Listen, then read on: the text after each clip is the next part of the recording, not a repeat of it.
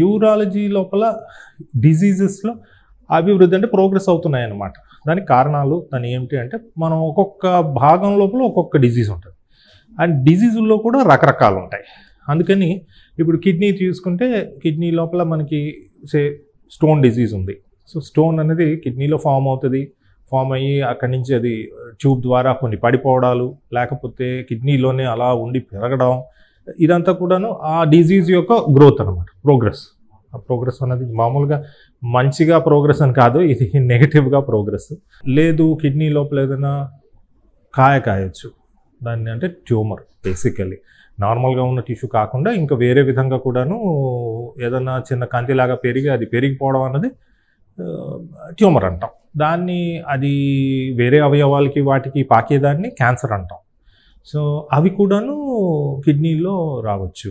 Kidney meet లోపల రావచ్చు. లేదంటే కిడ్నీ నుంచి ఆ గొట్టాలు బయటకు వస్తాయి కదా వాటిల్లో కూడా రావచ్చు. అది మనకి తెలియడం ఎలా ఉంటుంది? గొట్టాల్లో ఉంటే జనరల్గా బ్లీడింగ్ అవి అవ్వచ్చు. నొప్పి బాధ ఏది లేకుండా యూరిన్ లోపల బ్లడ్ అన్నది కనబడేది ఇంపార్టెంట్ ఇండికేషన్.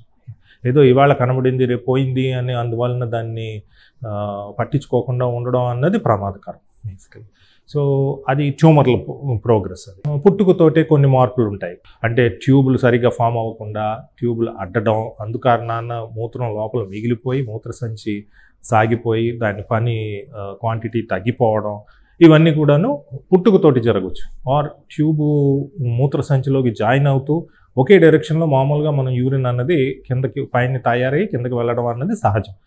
అది ఒక్కొక్కసారి రివర్స్లో కూడా అంటే సరిగ్గా వాల్వ్ ఫంక్షన్ లేక ఒంటేలు పోస్తున్నప్పుడు పిల్లడికి ఆ యూరిన్ వెనక్కి కిడ్నీలోకి వెళ్ళిపోవడం.